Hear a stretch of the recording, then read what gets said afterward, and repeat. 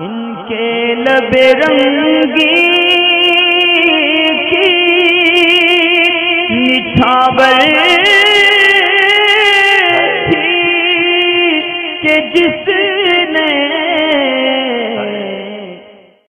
राबिया अहमद हैं, दिल्ली से मालूम ये करना चाहती हैं कि इनकी एक फ्रेंड ने ये कहा है कि इस्लाम में मशरूम खाना हराम है, लिहाजा आप मशरूम नहीं खाना।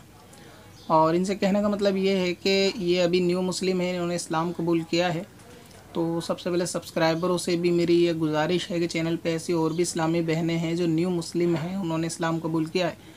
और ज़ाहिर सी बात है कि जब इस्लाम कबूल करते हैं तो कुछ परेशानी उनके अपनी बरदरी की तरफ़ से, घर की तरफ़ से उनको फेस करनी पड़ती है। तो आप लोग तमाम उनके हक़ में दुआ भी करें कि अल्लाह तबारक व ताली इन इस्लामी बहनों की तरफ़ रहमत की नज़र करें और इनके लिए आसानियाँ फरमाएँ।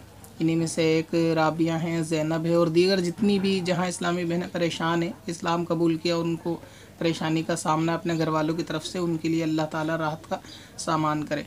तो इनकी एक मुस्लिम फ्रेंड है, उन्होंने बताया थोड़ी तालीमत उनको देते हुए, राबिया अहमद को कि मशरूम खाना ये हराम है, इस्लाम के अंदर इसको खाना नहीं चाहिए।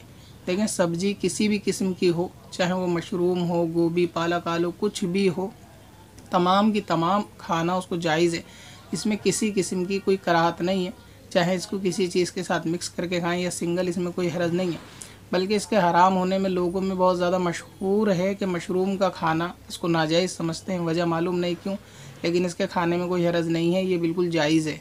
कुरान मजीद में अल्लाह तबारक व ताली फरमाता है, या ए ईमान वालो, सुथरी चीज़ों को जो अल्लाह तबारक व ताली ने तुम्हारे लिए पाक, साफ़ सुथरी की, उनको हराम ना ठहराओ। लिहाजा जो लोग इसको हराम कहते हैं उसको इस आयत करीमा से इबरत हासिल करनी चाहिए कि अल्लाह तबारक व ताली ने हुक्म दिया है कुरान पाक में ईमान वालों को कि साफ़ सुथरी चीज़ें पाक तैयब चीज़ों को हराम ना ठहराओ। लिहाजा मशरूम को खाना बिल्कुल जायज़ है और इसमें कोई कराहत वाली बात नहीं है। पत्थर में हसन लाले पुरनवार। पुरनवार।